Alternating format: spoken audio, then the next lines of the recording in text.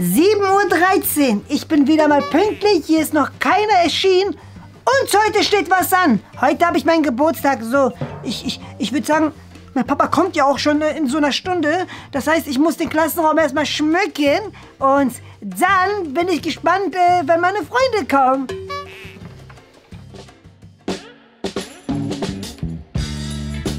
So, guten Morgen. Ach nee, du bist ja auch schon da. Morgen. Oh, Denver, 7.45 Uhr. Ja. Du bist aber mal pünktlich da. Wie kommt das? Ja, ich weiß. Ja, weil ich halt pünktlich bin. Das nervt nicht. So, Denver, Warum äh, hast du hier überhaupt einen äh, Weihnachtsmann? das ist kein Weihnachtsmann, das ist ein Nikolaus ja, und der und bleibt Nikolaus, jetzt da. Nikolaus war das schon. Ja, nee, das ist doch egal. Denver, siehst du nicht, wie ordentlich der Klassenraum ist? Ich, hab, ich bin um 7 Uhr schon hier gewesen, okay, 7.15 Uhr und hab hier aufgeräumt. Weißt du nicht, was heute Du für... bist, na stopp. Du bist um 7 Uhr aufgestanden, um hier aufzuräumen. In der Schule. Weißt du, was für ein Tag heute ist? Dienstag. Heute ist nicht Dienstag und nein, heute ist... Denver, guck, guck.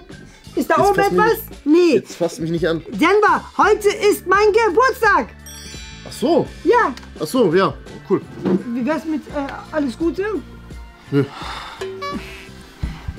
Äh, Leila, äh, weißt du äh, immerhin, dass mein Geburtstag ist? Äh, Moment. Ähm. Oh, tatsächlich. äh, Heute ist wirklich dein Geburtstag. Oh, das habe ich total vergessen. Äh, na Glückwunsch. Ja, danke schön. Äh, Ihr habt also doch an meinen Geburtstag gedacht, ich wusste es. Äh, kurze Sache, ähm, ich müsste euch um was bitten. Nee. Aber du weißt doch gar nicht, worum es geht denn war. Ja, aber nö. Moment, okay, hört jetzt mal an. Äh, also mein Papa kommt gleich um 8 Uhr. Dein Papa. Mein Papa, Kommt genau. hier in die Schule. Der bringt euch Kurze auf... Frage. Sieht der genauso aus wie du? Ja, der hat dieselben Haarfarben, also dieselben Haare wie ich, ja. Und dazu, mein Papa kommt hierher und der bringt euch aber was Leckeres mit. Also er bringt Kekse mit. Ke aber du meintest doch was Leckeres. Kekse. Welche Der, der hat Kekse? ja selbst gebacken. Mein Papa backt jedes Jahr für mich Kekse zum Ja, da Geburtstag. kann es ja schon nicht stimmen, dass sie lecker sind. Ja, ist ja egal. Ich hab ihm, ich hab meinem Papa vielleicht ein, zwei Sachen erzählt, die vielleicht nicht so ganz stimmen.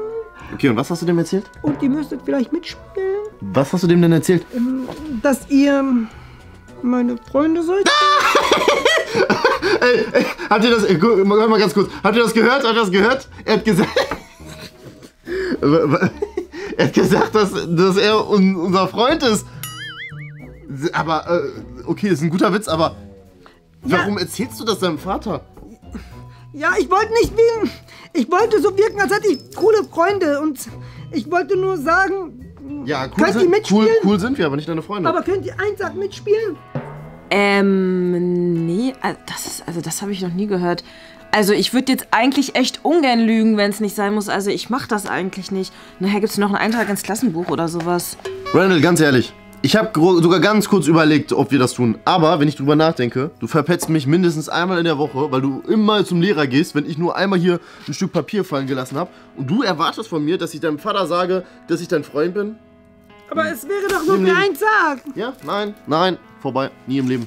Oh Mann, also dass ich doch die Schüler mal verpetze, mh, ist doch nicht so gut verlaufen. Aber was soll ich denn machen? Ich will mich bei meinem Papa nicht blamieren. Ganz ehrlich, ich habe eine Idee. Ich habe doch meinen Geldbeutel dabei und da steckt noch ein Schein drinne. Somit könnte ich die überzeugen. Das ist eine gute Idee, Randall. So, ich habe eine Idee. Denver und Ja, was ist Leila. Was kommt jetzt? Oh, das ist aber ganz schön gut gefüllt, ne? Wo ist denn so viel Geld? Ja, du das mal Geld, wenn du Leute verpetzt? Nein, das nicht. Aber würdet ihr für heute vielleicht meinen Freund äh, spielen? Für wie viel? Nein, nein, zu wenig. 5 Euro? Nein, nie im Leben. Was, was sollen wir mit 5 Euro? Weißt du was? Ich habe aber nicht so viel dabei. Leila, ich würde Ja, dir das sieht aber 20 anders Euro aus. anbieten. Ich meine, die kannst du doch ganz gut gebrauchen, oder? 20 Euro würdest du mir anbieten? Okay, also, naja, also ich wollte mir halt noch Jackson-Kreide kaufen. Die ist ja wirklich relativ teuer. Also, ich weiß nicht, ob das so richtig ist, wenn ich das jetzt annehme. Du kriegst die 20 Euro, aber Moment, Leila. Dankeschön. Du musst es doch einmal hier unterschreiben, weil das müssen wir vertraglich auch. Warum muss ich das unterschreiben? Unterschreib einfach einmal. Ist das peinlich? Ich hoffe wirklich, das kriegt niemand mit. Das ist ja echt schon ein bisschen peinlich, Ja. ne? Wie geht denn dieser blöde Stift? Den musst du drehen, So. Leila. Was Ja. ist das denn für ein Stift? Und jetzt unterschreiben? Und der Vertrag ist gültig. Ja. Danke. Okay. Denver, machst du das auch? Ja, okay, ganz ehrlich, ich mach's auch, aber nicht für 20. Gib mehr. Hm, ich habe aber nicht mehr so viel, Denver. Ja, egal, gib mehr. Ich habe nur noch einen 50-Euro-Schein. Ist das, ist das alles, was du hast? Das ist alles, was ich habe. Ja? Ja, Okay, und, dann, und noch die 5 Euro. ja, okay, dann die beiden. Das reicht für, sagen wir, den Vormittag. Na gut. Aber Denver, das gleiche gilt auch für dich. Einmal unterschreiben, bitte. Der Vertrag muss aufgerecht erhalten sein. Ja, Und dann unterschreiben. Mein Papa kommt in 10 Minuten. Super. So. Ja, aber äh, danke. So, dann ist das jetzt auch geklärt. Und jetzt warten wir bis mein Papa! Papa! Hallo, Papa! Ja! Hallo, Randall! Papa ist da! Oh, und ich sehe schon. Oh, fleißig, fleißig! Oh, das Klassenzimmer sieht aber ziemlich schick aus hier, ne? Also habt ihr euch ordentlich, äh, ordentlich ins Zeug gelegt, hier alles äh, aufzuräumen.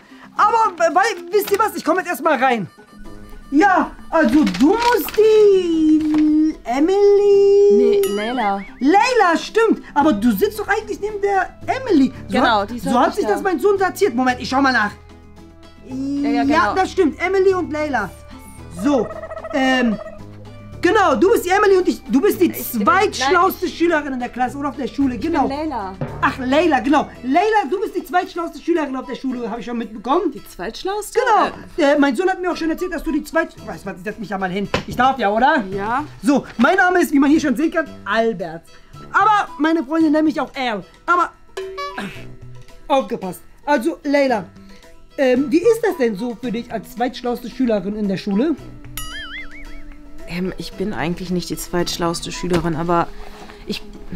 Naja. Ich Ja. bin hier die Klassensprecherin. Ach, nee, aber das stimmt doch gar nicht. Mein Sohn hat mir gesagt, dass er der Klassensprecher ist und du immer nur das Klassenbuch rein, äh, reinbringst, weil du, ja, weil du der, die Klassensprecherin sein möchtest. Du bist eifersüchtig auf meinen Sohn. Also hat mir mein Sohn erzählt. Aber ganz ehrlich, Leila, ja du musst nicht nicht. eifersüchtig auf meinen Sohn sein. Der ist ein toller Junge und er hat mir auch erzählt, dass er, dich, äh, dass er dich mal gerettet hat, oder? Du wärst einmal fast ausgerutscht und dann hat er dich noch irgendwie kurz Bitte davor was? gefangen. Wie soll ich ausgerutscht Siehst hier sein? drinne.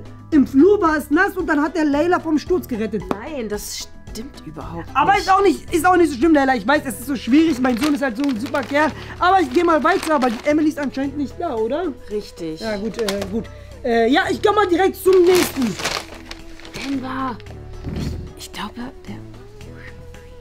Ah, na sieh mal einer an. Moment, Moment, Moment. Lass mich kurz gucken im Buch. Deine Beschreibung, ja, Sportjacke. Du bist der zweitlustigste Schüler auf der Schule und zwar der Denver.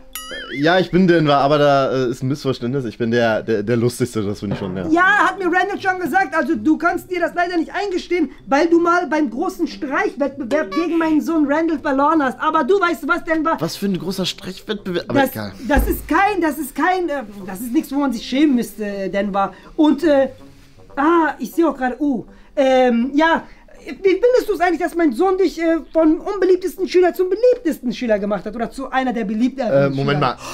Randall hat mich vom beliebtesten zum. Vom unbeliebtesten zum beliebten Schüler gemacht? Ja, genau, weil du... Äh, nee, ich glaube, das wäre eher andersrum. Ich glaube, Randall war der unbeliebteste Schüler. Moment, und Denver, ist hier steht ja auch noch, weil du, ja, deine Mitschüler verpetzt. Das muss jetzt aber auch nicht Ich hab- sein, oder? Ich hab Mitschüler. Ja, und vor allem bei der Frau Barsch bist du irgendwie im guten Kontakt. Hier steht hier. Also, äh, das glaube ich jetzt nicht. Äh, nein, nein, nein, nein, nein. Also da muss. Äh, egal, egal, egal. Was? Das. Denver, was Moment, hast du, du hast den Vertrag was hast du unterschrieben. eigentlich erzählt? Was hast du eigentlich erzählt? Du hast sollte den nur ein- Vertrag ich sollte nur, unterschrieben. ich soll, Da. Ja, ich sehe es. Schön und 50 gut. Euro. Ja, 50, 5, ja, schön und gut, Ja, aber komm. ich sollte nur dein Freund sein. Aber nicht bestätigen, dass du hier so, so eine Lügengeschichte Ja, erzählt hast. Denver ist jetzt gut, ist auch vorbei. Und äh, Papa übrigens, Denver Ja, äh. hat, ja, und übrigens, Papa Denver ist nicht nur der zweitlustigste Schüler, er hat sich einmal die Hose zerrissen. Das war so lustig. Dann habe ich ihn kurz davor gerettet, weil ich ihm gesagt habe, Denver, deine Hose ist zerrissen.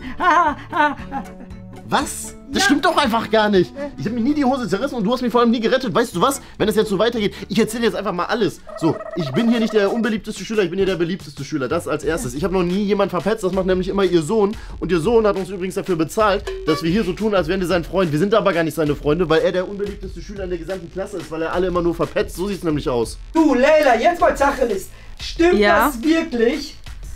Äh, ja, das stimmt, genau. Äh, wir sollten äh, so tun, als wären wir alle ganz gut befreundet. Also ist mein Sohn gar nicht der schlauste Schüler? Äh, nein, das bin eigentlich immer noch ich. Randall Alfredo James, sag mal, hast du etwa deinen eigenen Vater angelogen?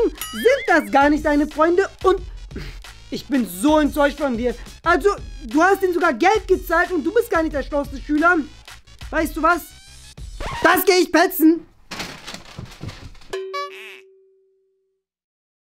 So richtig ist, wenn ich das jetzt annehme. Jackson Kreide. Kreide. Wie kommst du auf Jackson gerade? Ich meine, ey, ist gut, aber ja. Kreide jeder kaufen musste, aber die niemals gebraucht wird im, im Unterricht. Randall Alfredo Reeves. Findet ihr das nicht lustig, Alfredo?